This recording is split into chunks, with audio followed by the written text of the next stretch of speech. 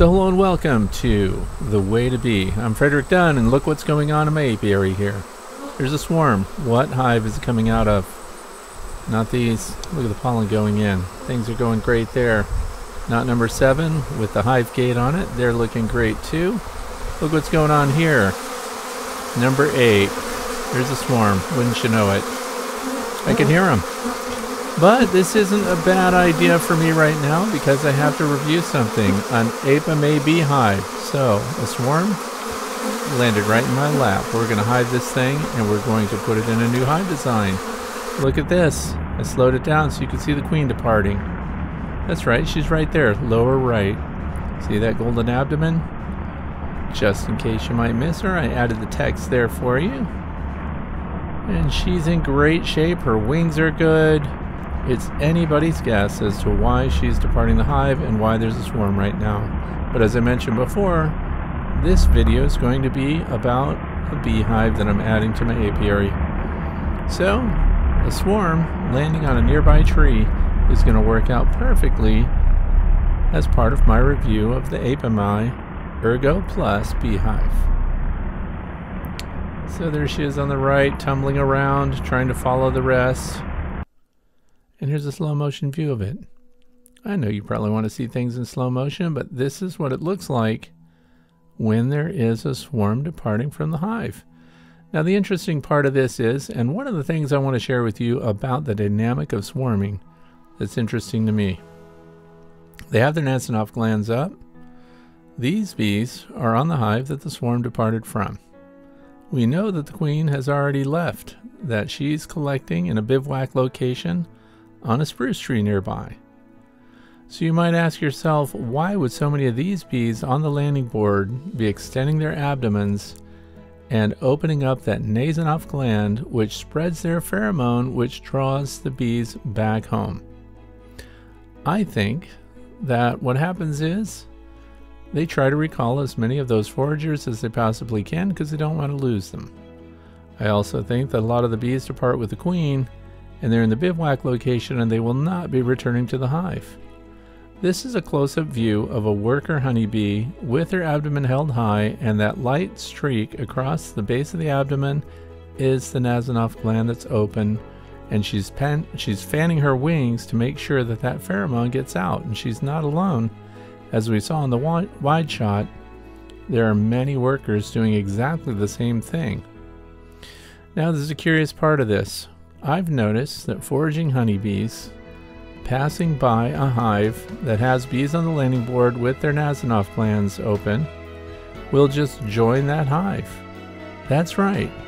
Bees that are not from this hive can be coerced into coming in and joining this colony just from this pheromone alone. It doesn't just happen on the hive, it also happens in the bivouac location where the bees are with the queen that we just observed departing. So let's take a look at that, also in slow motion. Here they are.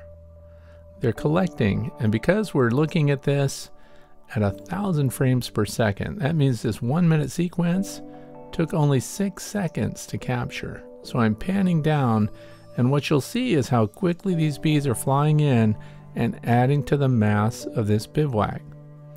Now what I want to suggest here is also not all of these bees collecting on this swarm are from the same hive. That's right. Other foragers from some of the other hives in the same apiary are often prone to just fly over and join a cluster of bees that aren't even related to them. And that's why we can often get a swarm of bees, if we leave them overnight in the cluster position, they can actually increase their numbers from other bees that just happen to be passing by. I learned that by using queen mandibular pheromone lures in the past. So here it is full speed. And you can see how quickly they're adding to it. We know the queen is in there. We saw her fly. She didn't pick the spot, by the way. The workers did. Wherever they land, the queen joins them, because you might have noticed too, they left uh, ahead of her. So they were already starting to cluster even before the queen landed here. But I'm going to collect them. You're going to see what's going on here. I'm just giving you a close-up of the dynamic of a swarm. And again, this is referred to as a bivouac. It's a temporary location. Many of these bees are opening their Nasonov glands in order to draw one another together, and they're using this queen's pheromone. And as I mentioned before, even unrelated foragers from other colonies are apt to join this cluster of bees. So here we are, the Way to Bee Academy building. It's really just a bee shed with observation hives in it. And what I'm going to do in here today is introduce you to my latest addition to the beehive here at Fred's Fine Fowl and honeybees. It's going to be an Apimaye hive and uh, I'm going to show you it really happens pretty quick because you don't even have to put it together. Look what they sent me, three boxes. I also have to tell you I didn't pay for these. The Apimaye company was kind enough to send them to me just for my opinion and review of the hive. And that landed in my lap because lots of people seem to want to know what my opinion is on Apimaye hives. I often send them to Kamon Reynolds, JC's Bees, lots of people have them already, but I guess it's a good thing to have here. Let's do an unboxing video. I know that's exciting to you, right? Step-by-step -step unboxing of the components. Now we're just going to pull them open. We're going to get right into it. And I'm going to show you what I think and show you the details. If you haven't seen one of these already, there, it's an award-winning hive design from 2015. They won the Apimaye Gold Medal for Beehive Innovations at Apimondia. So, here it is. We have a deep brood box with a bottom board and a cover. We have another deep brood box, which could be a super. We also have two medium boxes that came with it. So this whole kit is four boxes. It's called the Ergo Plus Hive, and it comes from Apimaye. So it's all plastic and it's insulated, and this is a queen grid that comes with it, queen excluder. You want to make sure that if you're putting this together and you're having supers up above that the queen can't lay eggs. That's what that's for. There's also a divider with it so that you could actually set it up as a nuke box or you could join two colonies together by putting the divider in. And this just shows the details, the embossing on it. It's pretty thick stuff. Good solid stock. I'm going to take a look at the box here. Handles on the side, which also are attached to the metal clasp that's uh, bolted to this Apimaye main hive body. I'm going to show you the features. Of course, it has a landing board, adjustable entrances, venting or an entrance. It has a label so that you can label your hive. And of course, the top is the vented top. And they've embossed it with World Beekeeping Awards from Apimondia Gold Medal winner. So as I mentioned before, that happened in 2015. And their award class was Beehive Innovations. And this little vent comes on the front. It has several positions. That's the open position. Now we have the vented position with just the holes. And then the other position here is as a queen excluder, so the workers can come and go, but your queen can't get out. Then we have the closed position. That's what I'm leaving it in. If you've been watching my videos, I go with single entrance beehives. And I'm going to label this one number 30. So I don't know about their particular label designs, but I use my brass labels there. Side of the box, and I'm going to show you all the angles, of course. This is the metal clasp, heavy duty, screwed onto the side of the box. But one of the things that's curious is the handhold. Look underneath. It's thinner there.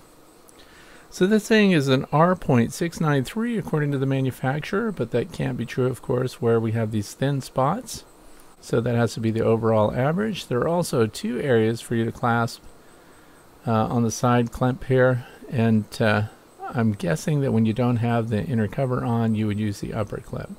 These vents, fore and aft, you can't close them. The whole thing's made of plastic.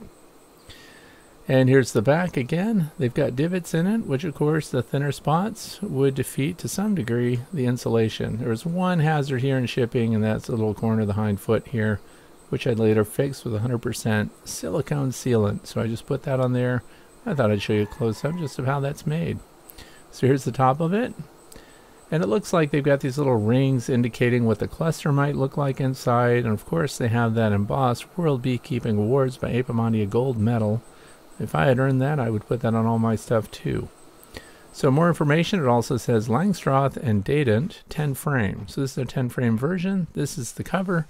This is the interior surface of the cover. So you can see again, everything's patented. So don't be making copies of this stuff. You've also got hive top feeders built in, pretty nice. Got a cover for it. And you can put liquid or solid material in it. You can put sugar in there, you can put your fondant up in there, and the bees can climb up through right there and go out into it. And there's two positions for this. One is for fondant or any solid feed so the bees can climb out and then wander through that whole space. And you can pull that out and turn it the other way, and then it would be for liquid. And just in case you forget, they even mark it syrup or candy. So for us, we're going to put it in the syrup position because we're going to be having a swarm and we're going to give them one to one sugar syrup. Eight pounds of sugar to one gallon of fresh water. And this is the position we'll have it in. The bees, when they go up through there, cannot get out through the bottom of that semi-clear cover piece. So now we get that out of the way, we're going to look at what's inside. They included these frame spacers, but frames were not included. It's a 10 frame unit, but it's compatible with my wooden framed standard Langstroth deep frames. You can also see the metal plates on the interior there that the outside handles and clamps are held to. So it's not depending on the strength of the plastic alone, but it is of course thin right there, which means that's going to not be a R6.9. And here it is with the divider, but I notice that divider has a space at the bottom of it, so I'm not sure what's supposed to keep the bees on one side or the other. And then you have the dials in it so you can make it vented or solid.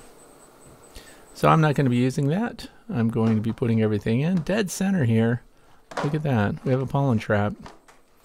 So of course I want you to pull that out when it's not in use. And I'm going to explain that a little bit, but there's a tray underneath. And that is the tray with a pollen tray in it also. So I'm going to be taking that out and also show you how to use that little red piece there. So I'm pulling the pollen trap out. When this is in place, the bees that go through the entrance actually walk through the channel underneath this pollen trap. Then they have to go up through those holes. And in the process of doing that, pollen falls off their legs into this tray. So because I'm not using the pollen trap and having your bees go up through that and shed pollen into the tray, we'll get that out of the way. And now we're just looking at the bottom. So this is the insert for the bottom. And I can see that that's vented too. So for example, if a bunch of condensation built up in there, there's weep holes built into it so that can run right out. And then we've got the screen, of course, so it acts as integrated pest management with a screen bottom board. Now we can open these up all the way on both sides or just open one side and it already has a mouse guard built in. So I'm going to have three openings right there because we're putting a swarm in. They need to be able to defend it. We don't need them to get robbed out right away. And I'm going to start things off with a foundationless frame of fully drawn comb. Worker comb over here, worker cells, and then on the right side we have a bunch of drone cells. Now of course they're not going to be building drones right away and they can use these cells for immediate storage and the queen can start laying in the worker cells which are lower right and probably not lay of course in the drone cells because that's what they do when it's a mature colony that has a bunch of surplus resources. I also pulled this frame that has started comb on it to give them a boost. And these beads that are in swarm mode are prepared to start drawing comb. I put an A on that to remind myself that that's an acorn heavy waxed foundation insert. So we're going to do double duty here. I'm also going to put in Premier foundation heavy waxed. Why not? Acorn again. You can see when you look at acorn that the bottoms are nice and smooth in the embossing there on that plastic, food grade plastic, heavy wax. The more beeswax that's on it, the better. That's another one, acorn. And then we come over here and I've marked a P on those that are for Premiere. So here's a Premiere frame. And so I put one of those on either side of the fully drawn foundationless frame because that's where the bees are going to start. Take a look at Premiere. You can see how modeled it is. So in the bottom of the cells, it has that rough texture. Plus, you can see that they have those dots that are visible. A little thinner than the acorn and uh, is also heavy wax and smells like beeswax. I expect them, as I've mentioned many times before, to use acorn and Premier Foundation the same. So we have 10 frames in here. I think now we're ready to go. And all we have to do is go out and get that swarm and put it in the hive. So again, we're going to use these hive top feeders. I'm just putting it together for you again. I think the capacity is over half a gallon each, and I'll explain why I know that later. And we're going to put a light syrup in. We are on September the 4th, and September the 4th is late for capturing a swarm, so we're going to have to feed them so they can start to build their infrastructure, and we're going to put that outer cover on. I wish there were an option to close off that top vent, because once again, with my other hives, I don't uh, vent through the top. I don't offer second entrances. I only use the landing board entrance, and I would like to have some control up there. I'm also not certain about what the R factor is of the cover. Although it looks well formed, it's tough. It's got a groove through the center so you can strap it down. The handles are good and strong. You can pick everything up. And uh, the clasps hold everything sure. This shows the louvered angle of the vent on the top. So if rain's coming down, for example, it sheds out. It does not come in. They show their patents again here. And I have to think it's sandwiched through some kind of polystyrene material here on top. But again, there are areas where cold air is going to have an interface up there, and that's why they need the vent. You would definitely have condensation in the top of this hive because you have a cold air interface. Now this red piece here, when you don't have the pollen trap in place, you have to install this because it closes it up on the end and no bees or wasps or anything else can now get in from the back side of your hive. So now we're outside, we're ready to go. I've put it in my apiary. Just showing you the details again of the feeder now that we're outside. There is some surface texture there that help the bees get traction when they come up and over. Showing the dry setting there, and then of course the liquid setting, which we're going to use. So just a refresher there. Pretty important. You don't want your bees to be able to get up there if you had it in the dry position, and if you have syrup in there, expect to find a bunch of drowned bees. So we're also going to pull some of the frames out to make room for the bees that we're going to drop in here.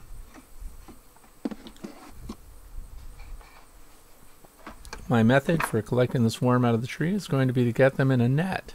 That's right, a cotton net. But first, the weather's turning a little bit. We had storms to the south and storms to the north of us, but we did not get hit ourselves. But we got too late in the day. We're not going to collect them. So the bees were swarming on September 3rd. We're going to collect them in this video on September 4th. Just showing some really interesting unstable air there with those clouds. So it makes for a good scene, just for some transition. And here, of course, part of my apiary, if you're unfamiliar, I have Layens hive, long Langstroth hives, Langstroth hives, flow hives, observation hives, and now finally, so many people have asked me to do this anyway, we have Apimaye hives, just one. And so it's going to be fun. Here we are, the following day, and I'm all set. Everything is set out. My ladder is set up, and I'm going to bring that swarm in. So they're here on this spruce tree. They're about eight feet up. To get up there and get them with my net. Very easy to do. I'm to wear a vented bee suit, and I'm wearing nitrile gloves to keep my hands clean. Nitrile gloves don't protect you from stings, and I'm to spray them with sugar syrup. One to one again. They're probably thirsty a little bit, but it also adds weight to the cluster of bees here, which helps me when I shake them down into my net. We get more bees off, and of course the goal is to get most of these bees and the queen.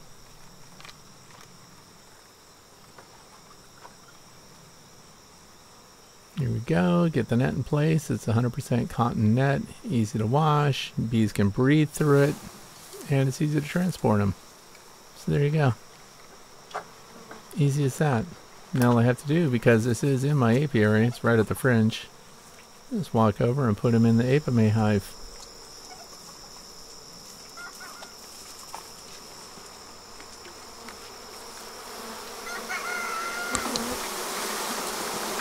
Just shake most of them in, and then of course I'll put the net down in front of the hive. I'll show you that later. Of course we have a bee coming up and getting on the microphone of the video camera. Sorry about that. Get that sound right in your ear. And I'm giving them a little sugar syrup. Not necessary because I'm also going to feed them here. But I'm going to spritz a little sugar syrup in the front of each of the foundation some of the Premier, some of the Acorn, That'll just help them get some satisfaction right away and get some carbohydrates in them.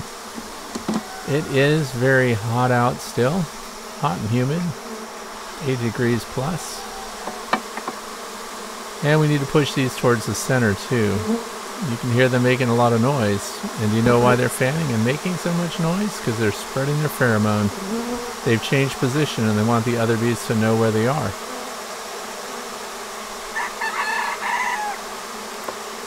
So we get these closed up.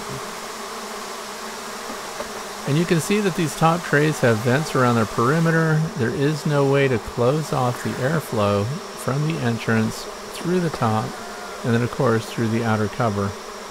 Just have to carefully put these on. There's no need to smash any bees while we're doing this evolution. And remember we're going to put one to one sugar syrup in so I've mixed up a gallon of that.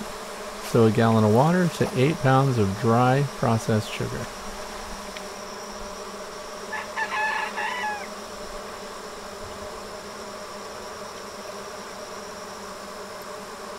There's no reason to put a heavy syrup on. Uh, this is not to get them to gain weight. As a colony, there is still plenty of forage out and plenty of resources, lots of pollen. I expect these bees to do very well. And we'll just get that cover on there, make sure we don't have any bees underneath. And you can see that some of them have already come up, come up under those translucent covers there. Double check, of course, to make sure they're in the right position. Otherwise, we'll have free swimming bees. And it looks like it holds at least half a gallon on each side, so that's a good capacity for a hive top feeder. And that little bee flipped in on its back. Don't worry, she flew out just in time. Get the cover on there. Got a problem getting these bees off of here, so I have to go and get my Shark vac. Use that just to make sure and collect all the bees off the top. It's a lot easier, and because of all the ribbing and the configuration here on the top, it's hard to get the bees off of there, so much easier just to use this handheld vac. I use it in a lot of other videos. It has a compartment that allows me to open it up right afterwards and just let the bees back out. So, doesn't hurt the bees. Great way to get them out of the way. And now we'll just clamp the top down, and I think we're in business here. Remember, there's two levels for that thing to hook, and with the hive top feeder on, I guess I used the lower level. It seems plenty strong enough. Holds it in place. And now we see what's going on in the front. Predictably, they're using their Nasonov glands, and I have to take the bees that are in the net and put the net in direct contact with the landing board. As soon as you do that, you can hear them pick up, start making noise. Why? Because they found their queen's pheromone and now they're all getting together to spread that pheromone to bring in all those airborne members of their colony. And remember what I said before. There will be bees that just happen to be flying by that will join this colony just because they fly into that pheromone stream. It's very interesting. And the reason I discovered that was because I was using synthetic queen mandibular pheromone and I could bring that out and zip tie it to a tree branch at any time and collect foragers that just happen to be passing by. So that convinces me that foraging bees from other colonies have the potential to just randomly join any cluster of bees that's doing what we're seeing right here. They just follow the pheromone. We know it's not a related queen. In fact, if it's a synthetic pheromone, there's no queen at all. So to see them build into a two or three pound cluster of bees with no queen there got me thinking bees fly by and just join clusters anyway. So any bivouacked swarming cluster of bees could end up picking up volunteers from other beehives in the vicinity. Very interesting stuff. So anyway, as you watch this, you'll see that they're going in. 99.9% sure the queen is in there. Of course, we saw her depart the uh, hive that was swarming, and we can only guess that she's in here because they're very keen on picking up her scent and then spreading that. And if the queen were not present, we would see some examples of bees going in, but turning around, coming right back out, And you could end up with a queenless cluster where they all mass on the front of the hive and don't enter at all. So this was a great opportunity, number one, to introduce you to the Apimaye beehive. If you haven't seen them already, you could look them up and learn more about it. There's an American branch of that company, and I'll put a link down in the video description so you can check them out further. You know, I was on the fence a little bit about an all plastic beehive with plastic insulation and everything else. A lot of people are using them. Uh, this will be, I'll have at least one, of course. One of the things that I do here is introduce beekeepers that are new and backyard beekeepers that are learning. I introduce them to hives of a variety of different designs and I explain the benefits, pros and cons of all of them and uh, now, finally, we'll be able to show them an Apimaye hive. I know it's plastic. What is the life expectancy of this hive? I have no idea. So I guess we're going to find out. And it has plenty of room for expansion. Remember, we have a deep box. So the configuration would be, let them fill out this box, eight frames at least. And then if it looks like they're doing that within the next couple of weeks, and believe it or not, that's possible, Remember, the queen has comb. She can go to laying right away. She could be producing brand new adult bees within the next 22 to 23 days. So we could see, even late September, with this colony, we could see a boost in their population and they could actually super up, depending on what the weather does, what the environment provides, all the way into the first week of October. So, you'll be able to watch the updates on my channel. If you don't already follow me, uh, please feel free to subscribe to my YouTube. And uh, of course, I'll be adding this to the style of beehives that we track here. But I can tell you my first impression looking at it and understanding how I manage my bees in the northeastern United States is that I like to close off upper entrances. I don't like to use upper vents and uh, if I want to evaluate a beehive though, I'm going to have to let this one go through winter as designed. I also plan to put fondant in the open containers. I may cover that later. Right now my favorite fondant for wintering is Hive Alive fondant. Of course your option is you could put dry sugar up in those feeders on top. Uh, and again, that's not something we put on right now. Right now they have a light syrup just because I want to kick these off really strong. They don't have a lot of time left. And uh, at the end of the year, we'll kind of assess what kind of honey capacity they have, and then I'll make the decision uh, whether or not to put dry sugar or fondant in the top, probably mid-October. So we'll do a follow-up inspection in three weeks, and we'll see how they're doing. I mean, the way the hive is laid out, the components that they have included, it's very thoughtful. I like the idea that we can control the entrance, that if you wanted to, you could divide this into two colonies and have an entrance right next to one another there, which is interesting to me. If you were dividing it and making two small colonies, uh, your plan may be to actually join them together, and that's why you would have the vents between the two, and then just pull out the middle board and push them together later.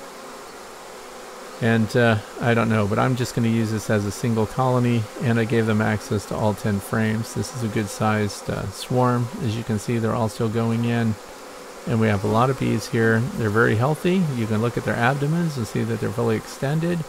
They've loaded up on honey before they departed the colony that they were in. And a lot of them have uh, wax already on their abdomens, so their wax glands are active. They're ready to build comb and they're going to go to work doing that probably tonight. So I think we have a strong colony here. They're all very healthy. They came out of a hive that had very low mite counts. And I think uh, that queen has very good genetics. It's too bad that she decided to depart against my better judgment. Bees do what bees do. The colony that they departed had plenty of space up above. They still could have expanded. Their population, of course, was very strong and still is. So the residual population of that hive, they've got queens that are just about to emerge from their queen cells. So one of those will hopefully, in a perfect world, fly out, get mated here, and uh, she should be producing within the next 12 days. So by producing, I mean she should be mated and laying eggs And as you've also noticed, I hope, there's an abundance of drones here, so getting drones from all the different colonies. If we see a bunch of drones coming out of our own hives, we can make the uh, the leap that other colonies in the vicinity also have a lot of drones if they're strong and healthy, and so we have breeding potential for the queens that uh, these colonies will be putting out late season. So within the next three weeks, I also have to look at the hive that they emerged from, that the swarm came from.